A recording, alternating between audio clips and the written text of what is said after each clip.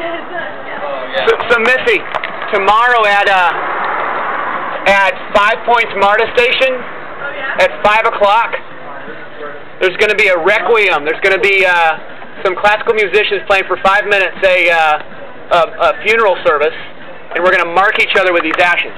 Oh, wow. So if you know anybody, it's a, it's a, it's a, it's a flash mob at the Five Points MARTA station there. So if you know anybody that wants to come or you want to come join us.